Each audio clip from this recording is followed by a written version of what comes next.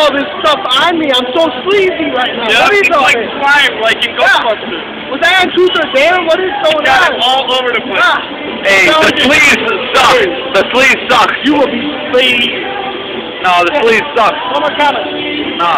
Done. Go ahead, make a comment. Make a comment.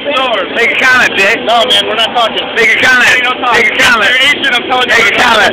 Make a comment. Come on, talk about your team. Talk to my representative. Talk about your team. Hey, how about your ninth round, tenth round picks? What happens when they're not, what happens when they're not starters anymore? What happens when they're not starters? Possibly the greatest picks in the history of dance football. Think about it. What happens when they're not starters anymore? Then they'll start uh, performing like Ryan Grant.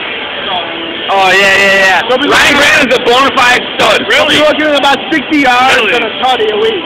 Instead of 100. How many touchdowns do your running backs have?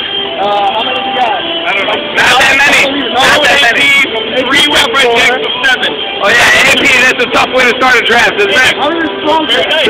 How many strong cats? Uh, I don't know, two, three, something like that. At least Yeah, two. we got about nine touchdowns on our bench, on our team. Nine. Talk about the sleeves and how bad they are. The Swedes will dominate you, Willie. They will dominate you. They will dominate everyone in the league. That's it. Come on.